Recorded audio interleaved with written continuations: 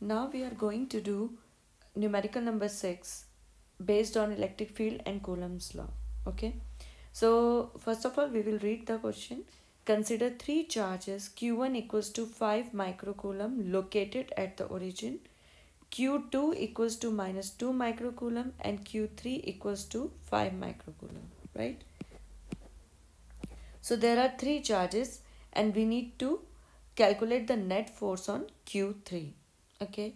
So first of all, we will do step 1. We will make fully level sketch diagram and show relevant figures, relevant vectors. Okay. So we'll just make x and y axis first. Okay.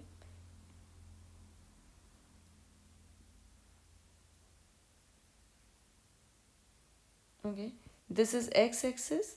This is y axis. Now consider three charges Q1 equals to 5 microcoulomb located at the origin. So what we will do? We'll just make this one. This one is Q1 which is 5 microcoulomb and it is located at the origin. Origin means it is 0 and 0 right? X is 0 and Y is 0. Now Q2 equals to minus 2 microcoulomb located on the y-axis at y equals to 0.1 meter. Q2 equals to minus 2 coulomb. Now let us say this is Q2 which is equal to minus 2 microcoulomb. Okay. Located on the y-axis. So you, you can see I have located this Q2 on the y-axis. This is the y-axis, right? So I have located Q2 on y-axis at y equals to 0.1 meter. That means the distance is given to you.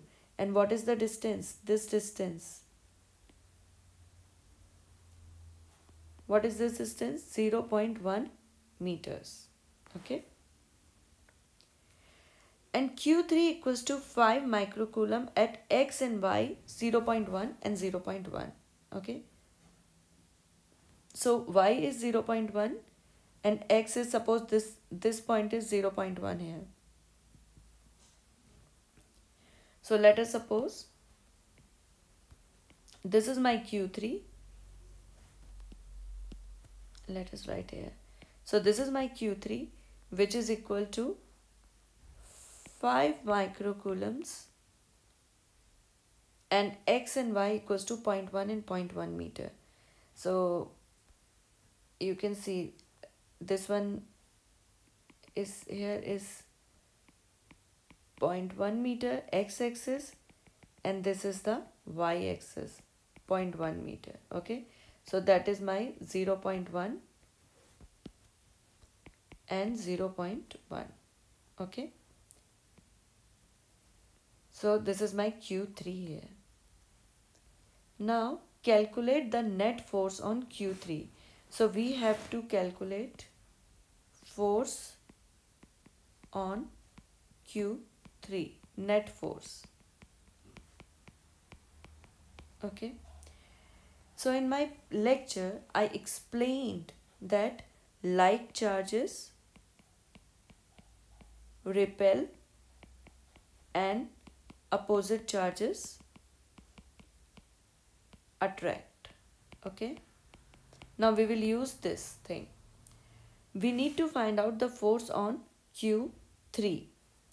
Now if we see this Q3, then there are two more charges which are in effect. Which what are the two more charges? These are Q1 and Q2. Okay. Let us say let us say this distance this distance here. Okay let us say this distance is r 2 3 okay this is that vector. Now what is this one? This one will be r1 3 vector. Okay now we need to find out the force. So how we will calculate the force? Let us let us take this blue color now now if we see Q1 and Q3, just see Q1 and Q3. This Q1 here and Q3 here. So both charges both charges are positive. Plus 5 microcoulomb plus 5 microcoulomb. If both are posi- positive that means what they will do? They will repel each other. They will not attract each other so what will be the direction of the force? See if q1 and q2 what? They will not attract. So they will go like this. So q1 is this. So what will be the direction of this force? It will be this direction like this. So i can say it is F1, 3. i will explain you what is F1, 3 now. Now if we need to find out the relationship between q3 and q2 now you can see let us say let us say q2 and q3 like this. So q2 is negative. Negative 2 microcoulomb and q3 is plus 5 microcoulomb. So what will happen between these two charges? These are opposite charges. They will attract each other like this. Okay? So these two charges will attract each other. So so what will be my direction of this force it will be f 2 3 okay? And we need to find out the resultant force. So resultant force will be somewhere like here and that will be my f3 that i need to find out. Okay? So if you will if you will make this figure that means this figure will be around 3 to 4 marks and you will get 3 to 4 marks here if you if you label everything correctly. Okay now we need to write the formulas. Now first of all i will explain you the notations. I have written f13 that means what is f13 force on q3 due to q1 remember whatever i am writing at the last like 1 3 so at the last 3 3 is at the last. That means it is the force on q3 due to q1 if i am writing f23 what does that mean? It is force on q3 due to q2 you understood this? So because we need to find out f3 so what will be my f3 now? What will be vector f3 it will be sum of these two forces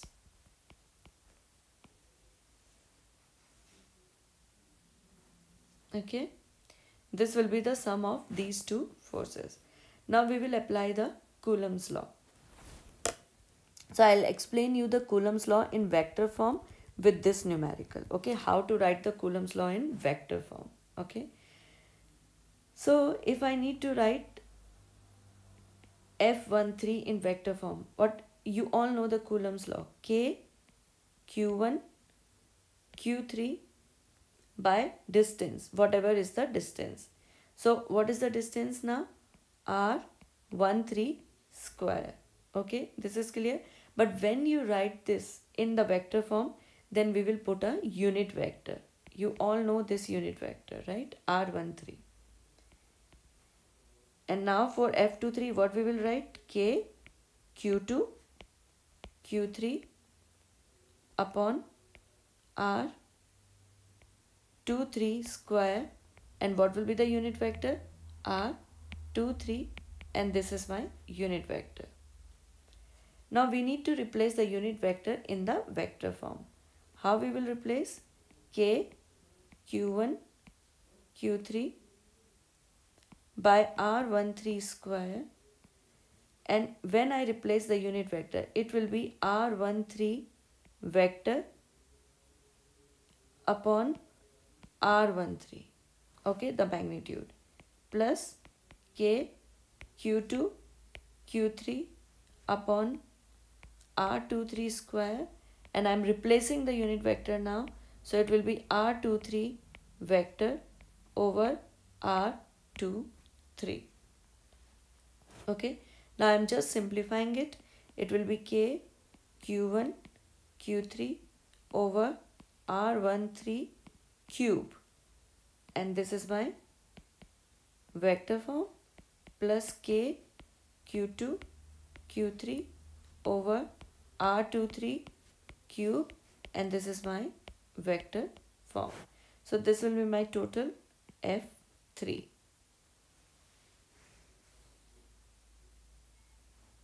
Okay. Now we need to find out the magnitudes, the vectors and the magnitude. So let us say this this was my step 1 okay and this is my step 2 and now the step 3 so what will be my step 3 uh, now what what I will do? This thing you already you you have already done in the previous chapters but I am just telling you now. R1 that means the uh, the coordinates. So that means coordinates at q1 coordinates at charge q1 so what are the coordinates at q1 it is 0 and 0 you can see here. Okay? 0 and 0 so what i will write? 0 i plus 0 j meter. Okay? So you all know i equals to x j equals to y and k equals to z now if i need to find out the coordinates of r2 what will be the coordinates? At q2 what q2 is? Coordinates are 0 and 0 0.1 right? So let us see. Here the coordinates will be 0 0 here the coordinate is 0 and 0 0.1. So what I will write? 0 i plus 0 0.1 j meter. Okay. Now if I need to find R3, you all know what are the coordinates at 0 0.1 and 0 0.1. So what I will write here 0 0.1 i plus 0 0.1 j meter okay now I need to find out r13 vector what will be r13 it will be r3 minus r1 okay? What is r3 this is r3 so this will be 0 0.1 i plus 0 0.1 j minus R1 0i plus 0j. So what will be my answer? It will be 0 0.1i plus 0 0.1j meters. So this will be my R1 3. Okay. Now I need to find out R2 3. So what will be my R2 3? it will be R3 minus R2. Okay, how I will find out R3? We all know what I what I have to use R3 0.1 I plus 0.1 J minus what is R2 0 I plus 0.1 J. 0 I plus 0.1 J. So by solving it, we'll get 0 0.1 i plus 0 j. So this is my R2 3. Okay. And now if it is okay now if I need to let us say it's vector okay now I need to find out the magnitude. So R 1 3. What will be the magnitude? You all know the magnitude is formula of magnitude is under root x square plus y square. Okay. So now what R13 just look at this one. What is x square? 0 0.1 square plus 0 0.1 square y square so what will be the answer so r13 will be 0 0.1414 meter so this will be my r13 the magnitude now if i need to find out the magnitude of r23 that means what i will do 0 0.1 square plus 0 square so so R23 will be equal to 0 0.1 meters. Okay. Now the final step. What is the final step? We will substitute all values. So let us say this is step 4. Step 4. Substitute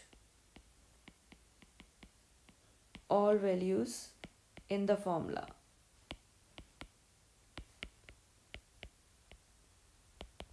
Okay, let us say what this is the formula in equation number 1. So we'll put V because we need to find out F3. So F3 will be equal to K. The value of K is 9 into 10 to the power 9. I've taken this K here uh, common then q1 q3 so what is the value of q1 5 into 10 to the power minus 6 coulomb. Q3 is 5 into 10 to the power minus 6 coulomb. Upon it is 0 0.14143 and r13 it is 0 0.1 I plus 0 0.1 J meter. Okay. Plus Q2 Q3 that means minus 2 into 10 to the power minus 6 coulomb 5 into 10 to the power minus 6 coulomb upon 0 0.1 meter cube and it is i plus 0j so I put all the values and I have solved it then the answer will be 79.5 0 0.1 i plus 0 0.1 j minus 90 0 0.1 i plus 0 j. And then if we will solve it will be f3 equals to minus 1.04 i plus 7.95 j. So that will be my force F3. This is my final answer. So suppose in exam this question comes. So you need to break this into steps. The first step will be the picture, the labeled picture the second step will be the formula. You need to find out the formula. Mention it equation number 1. Then step 3, all the distance vectors you need to find out and the magnitude. And then step 4, substitute all values in the formula and find the answer. Thank you so much.